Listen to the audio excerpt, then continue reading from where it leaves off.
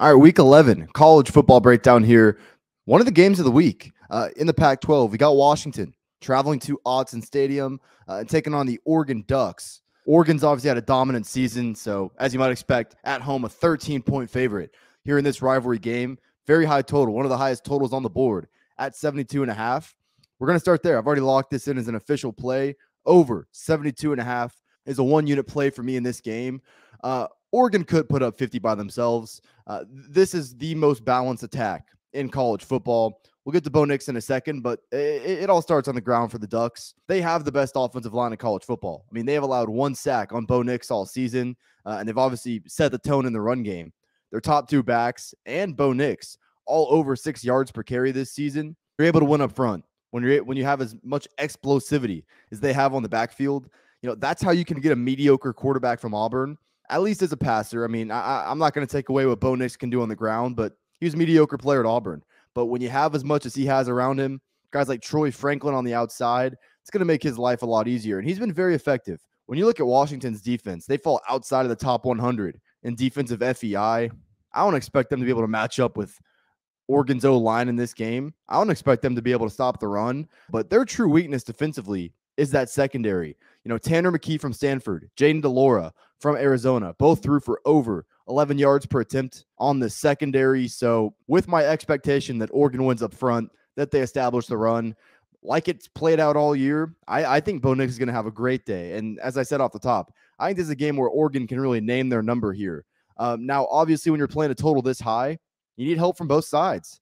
I think Washington and their urgency in this game is ultimately going to send this over the total. They run at a very fast pace, one of the fastest paces in college football, actually. Unlike Oregon, very unbalanced offense. I mean, they're eh, almost an exclusively a passing offense. think that running game is mediocre. And by nature of Oregon's strength defensively being that run defense, you know, I, I think Kalen DeBoer is probably going to surrender that. Why why would we even try to run the ball on the Ducks here?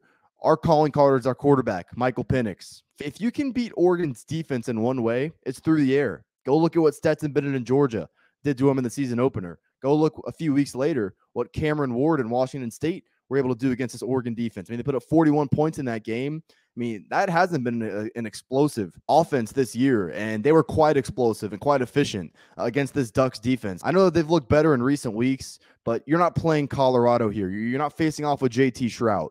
You're not playing Cal and Jack Plummer. You're going up against Michael Penix and a really effective Washington passing game. Much like Oregon, Washington's very stout up front themselves. They've allowed just five sacks this season.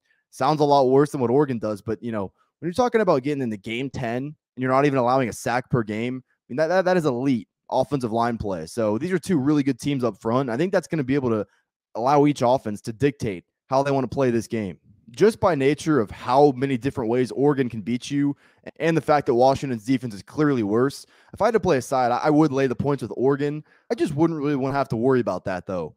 I see this as a 48 to 30 type of game. This total should at least be 75 and a half, 76, if not higher. I mean, we've seen Wake Forest and uh, North Carolina. That total is at 77 right now.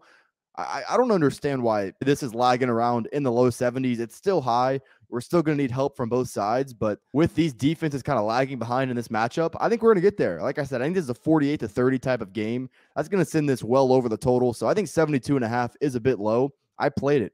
All right, guys, before we get out of here, I know you see this quarter zip right here.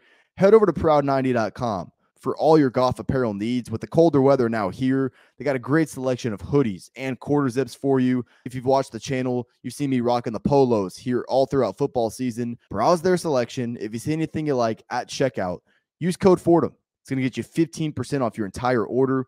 That's code Fordham at checkout. It's going to get you 15% off your order. Support me, support Proud 90, proud90.com.